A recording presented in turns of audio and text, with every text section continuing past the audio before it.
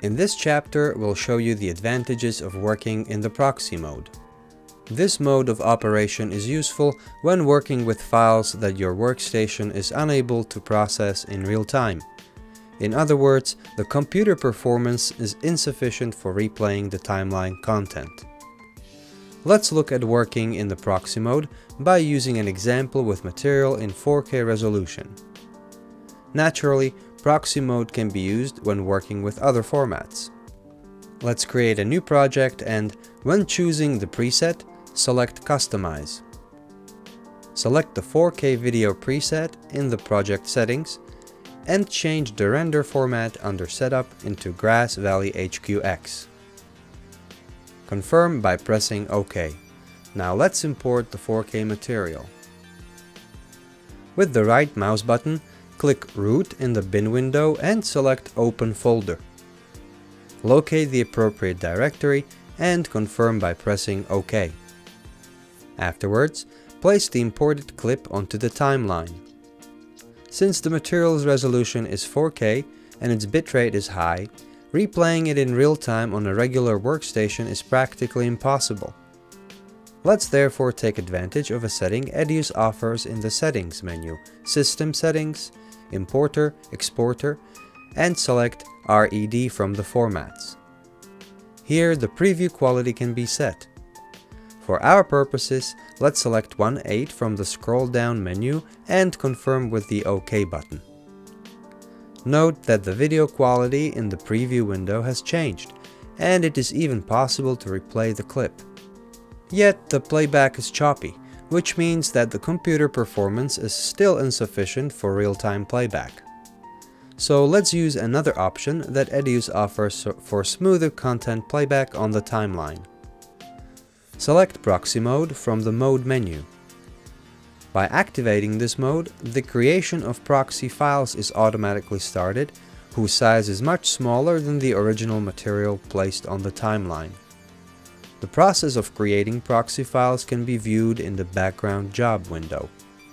The files created are much less demanding for replay than the original 4K resolution files.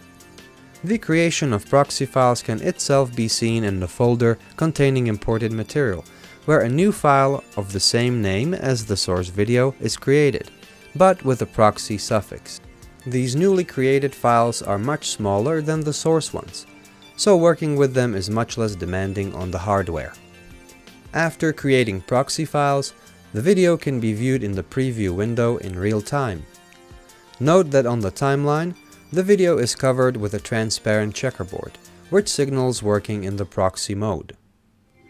Now let's look at a different example where the advantages of working in the proxy mode can also be used. Imagine a scenario where you have an unfinished project at your workstation, but for one reason or another, you must travel and finish the project on your laptop. The steps are as follows. From the File menu, select Field Editing Check out. A window opens where the location for saving proxy files is specified. In order to specify the location, press Browse and, in this case, select the external hard drive as the target location. In the Checkout Source Files section, leave Proxy selected. This option generates the proxy files for clips if they haven't been created. By selecting High Res, full quality video files, that is, in their original resolution, will be copied into the target directory. Now confirm by pressing OK and then Yes. The subsequent project changes will be done on the laptop. Start Edius and open your project from the external hard drive.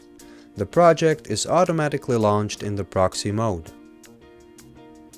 We've made several changes on the timeline and also added new titles.